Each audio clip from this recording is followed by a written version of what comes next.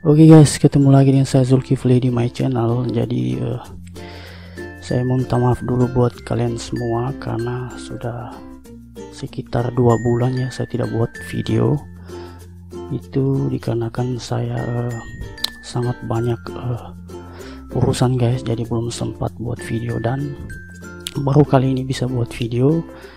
Kalian ya harap malum lah, namanya juga youtuber pemula itu awal-awalnya itu berat jadi di video kali ini saya belum main game dulu ataupun mau buat video tutorial apa. Di video kali ini sesuai judulnya saya akan unboxing suatu barang yang sekitar uh, beberapa hari yang lalu saya pesan di Tokopedia dan barangnya sudah sampai guys. Mau tahu apa barangnya? Ini dia guys barangnya. Ini dia R3 Super Bass HD Gaming headset jadi headset ini bisa dibilang murah tapi tidak murahnya guys. Karena bentuknya juga tidak kalah dengan headset-headset uh, gaming yang biasa dipakai oleh youtuber-youtuber. Headset ini saya beli dengan harga sekitar 130.000 itu belum termasuk ongkos kirim. Dan headset ini saya rekomendasikan buat kalian yang low budget yang punya uang pas-pasan ini ini cocok buat kalian ini sudah cocok. Oke tanpa basa-basi langsung kita buka boxnya. Ini ini sebenarnya ini sudah saya buka dari dulu guys. Eh dari dulu dari beberapa hari yang lalu sudah saya tes juga headsetnya. Tapi saya unboxing ulang. Ini dia pembungkusnya guys. Ini dia dari Tokopedia kita buka dosnya jeng jeng ini dia guys. Ini headsetnya.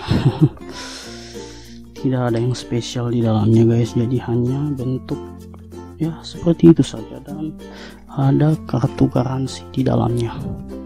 Ini dia kartu garansi. Jangan kalian pikir headset murah tapi tidak ada kartu garansi. Ada kartu garansi coy. nih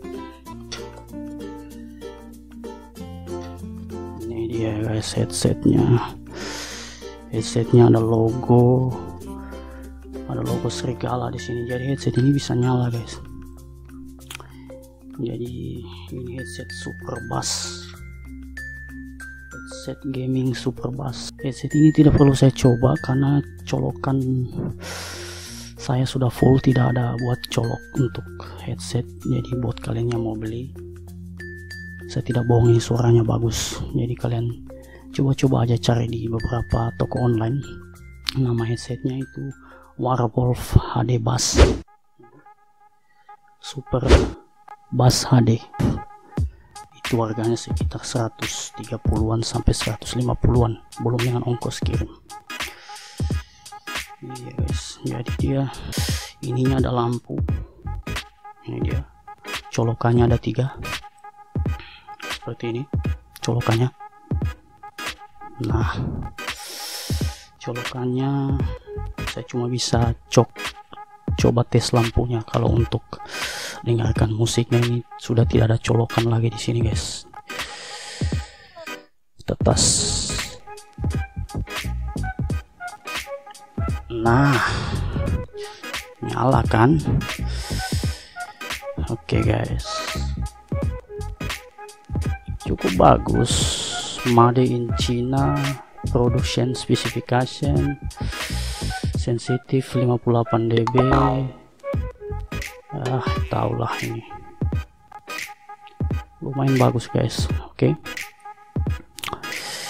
jadi ya cukup sampai di sini saja guys untuk video kali ini guys. Jadi buat kalian yang menyukai video ini kalian tahu harus membuat apa ya. Beri like video ini jika kalian suka dan komen juga jika ada yang ingin kalian tanyakan. Kalian share juga bisa dan jangan lupa buat subscribe guys ya. Buat kalian yang belum subscribe ya. Oke. Okay? supaya kalian tidak ketinggalan info-info dari saya entah itu tentang game tutorial ataupun apa. Oke okay guys. Thank you for watching guys. Sampai ketemu di video selanjutnya ya. Bye